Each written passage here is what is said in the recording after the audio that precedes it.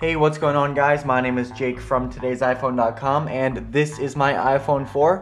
But this is not just any iPhone 4 because this particular iPhone 4 is running a beta of Apple's iOS 6.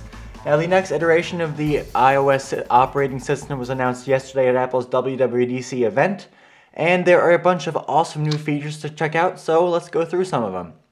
Now straight off the bat you'll see uh, it's nothing big but there is a new wallpaper uh, looks nice. Um, now, seeing as this is a phone, let's start off with the improvements to the phone application. Okay, so I'm going to call from home, and you'll see that in addition to the answering slider right there, there's also a slide up option. So if I do that, I can decline, I can answer, I can reply with a message. I'll just send what's up, and then it ends the call and automatically sends that message. Now if I call again, I can also have the phone to remind me to call this person back when I get home, when I leave, or, you know, in an hour. So I'll just remind me in an hour. So that's a really cool, useful feature in iOS. It's something that I never thought of actually putting into the operating system, but now that I see it in action, it's definitely something that I can see myself using on a daily basis. Now that's not the only improvement with the phone though. There's also some slight UI changes in the dialer. You'll see it used to be black and blue and now it's white. And there's a different sort of texture to the design of the phone. And you know, it still does what a phone does. There's just it just looks a little different now. Now another major new feature in iOS 6 is Facebook integration. Now you still have the Facebook application right there, but if I slide down the notification center, you'll see that I also have a tap to post right to Facebook button right there. It's nice with a tap to tweet button, which is also new. So if I tap that button, it takes me to a new Facebook sheet where I can post a status, add my location, and I can even control who sees this post. This is all right in Notification Center. Now Facebook is integrated throughout all of iOS 6, which means if I want to share like a photo or something, I can just click the new share menu and you'll see the Facebook icon right there. I just tap that and I can automatically send this picture right to Facebook. Um, I'm not going to do that though. Now this sharing feature works in Safari and Maps and Photos. It's really cool. Basically any application with content that you could share uh, the option to share on Facebook is there. What's more, say you really like an application and you want all of your friends to know about it.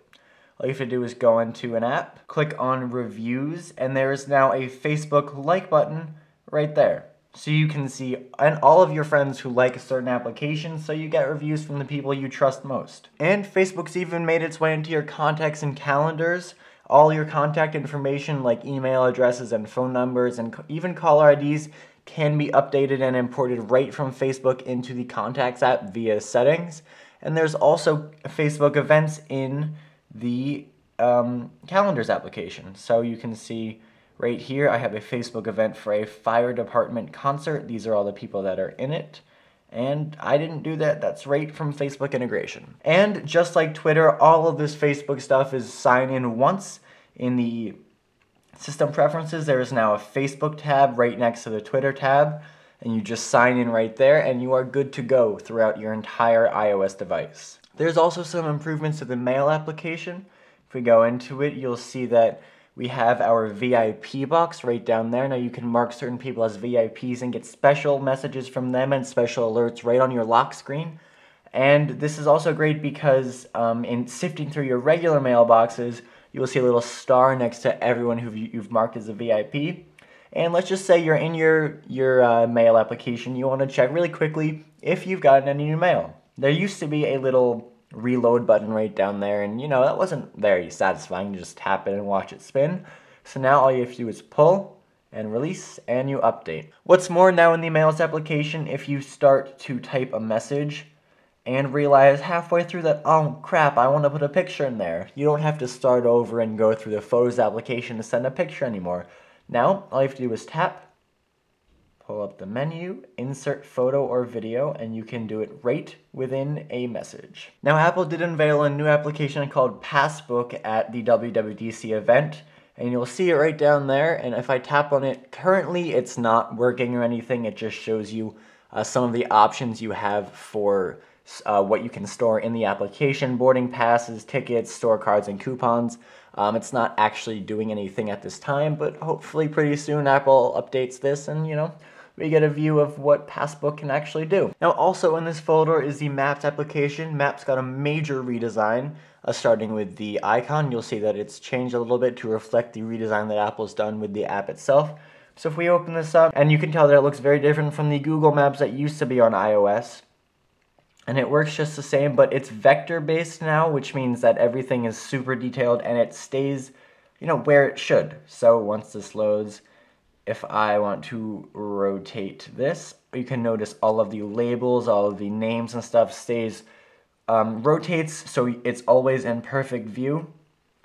And unfortunately, because this is an iPhone 4, I don't have the um, flyover feature and I don't have the turn-by-turn -turn directions feature, uh, which is definitely a bummer. Because this device doesn't have Siri, it's not going to be able to tell me um, it's not going to be able to speak to me what I should do, but you know, I can still follow this, slide right through.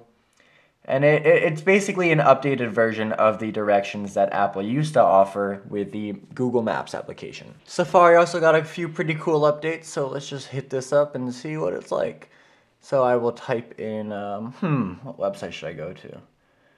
Let's just do today'siphone.com.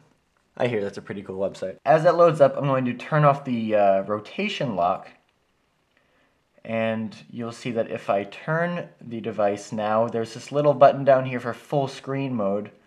And once this is done loading, you'll see that even the uh, progress bar and the search bar and all that goes away and you just get full screen Safari. Now this only works in landscape mode, non-portrait mode, but it's definitely a nice feature to have. And uh, also in Safari that I not personally sure if this is new in iOS 6 or just new to me. You have the option to open a link in the background. So if you hold on this, you can click open in background and it goes down there and then it opens in a new page without taking you out of the page you're currently in which is also a really cool thing. Okay, I just want to highlight a few more smaller features before we move over to the iPad to check out iOS 6 on the new third generation iPad. Uh, first of all, you may have noticed that when I went down here, you see um, these little 15 second rewind and 15 second fast forward buttons instead of the usual uh, back and forward buttons. This is because I am in an audiobook right now. I like to listen to audiobooks when I do yard work and stuff. Well, I like to listen to Harry Potter audiobooks when I do yard work and stuff. And uh, navigating through these audiobooks has always been kind of a, you know, kind of annoying to do just because I don't know if you can tell there, but this audio file is like two and a half hours long, and um, scrubbing through is definitely annoying. Uh, before you had a little rewind 30 second button and that's it. Now you have a rewind 15 second and a fast forward 15 second, which is, I mean, it, it seems pretty little, but it's a huge plus. And those buttons are also carried over down here, which is great.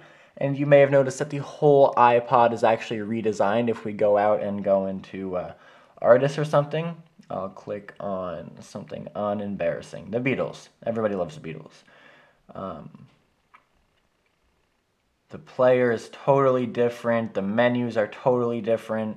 It, it sort of resembles the music player on the iPad, actually, but um, it Apple's gotten rid of the black and blue theme in favor of a white silverish theme, and I personally like it a lot. I think it looks cool and clean. And you know, everybody and their grandmother has seen the, the iPod application, so it's great that Apple's changing it up a bit. Okay, so now let's put the iPhone away and move on to the iPad and see what iOS 6 has in store for this baby. Okay, so first and foremost, the biggest feature for the new iPad is obviously Siri. Uh, when the new iPad first launched, it launched with Siri dictation, but not the full-fledged digital assistant. So it's really nice that Apple has decided to, you know, offer customers the full Siri experience on the new iPad. So if I hold down the home button, hi Siri. Good evening, Mr. Potter.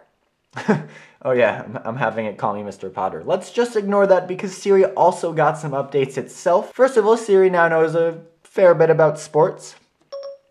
Siri, who won the Stanley Cup this year?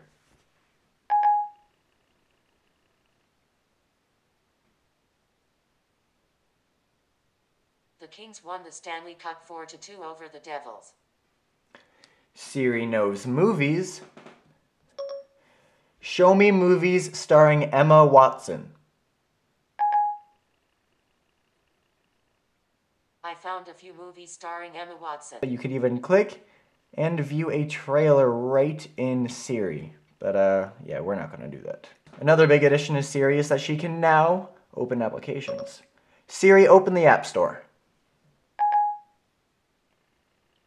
Boom, just like that, and the App Store's open. Uh, these are all great improvements, and again, you can see the redesign for the App Store right here. Uh, it looks really, really great on the new iPad. Now, because the Maps application is so big, let's check it out on the new iPad. Open Maps. Okay, so we're in Maps right now, and you can tell that this is definitely not Google Maps. Oh, and we're, we're zooming in, we're getting some buildings now. This is in San Francisco. So if I click on the 3D button, you can see that we have uh, 3D modelings of every building here. Um, now this is really cool actually. They, they pop up as they render. And now let's just say we wanted to check out satellite.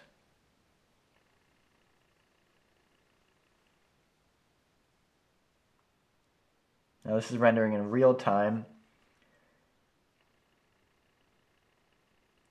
Now this is the flyover feature. You can see that it really does look like you are uh, flying over the city right now. You can see these buildings in great detail. You can spin around. This is not the nicest part of San Francisco apparently, but you get the idea. This is really, really cool. Um, I mean, to be honest, I'm not sure how useful or practical this is. And obviously my internet connection is not very good down here in my basement, but it's definitely fun to look at. And not every city is supported with this flyover 3D feature, but I'm sure that Apple is going to work to incorporate as many cities as they possibly can into this, uh, solely for the sake of saying that they have all these cities 3D rendered. Um, Okay, so that is the new maps feature. Okay, now that about does it for the face. Now, okay, now that about does it for the major features of iOS 6. Uh, there's also things like FaceTime over 3G or um, shared photo streams and that kind of stuff. And um, I'm sure there's a ton of other features that are going to come out of the woodwork with new betas and with just time spent with the software. So definitely stay tuned to today's iPhone and our YouTube channel for all the latest up-to-date news and features of iOS 6. Uh, but for now, that's it. So thank you very much for watching. My name is Jake, and don't forget for more news, views, reviews, and everything iOS 6, definitely check out today'siphone.com.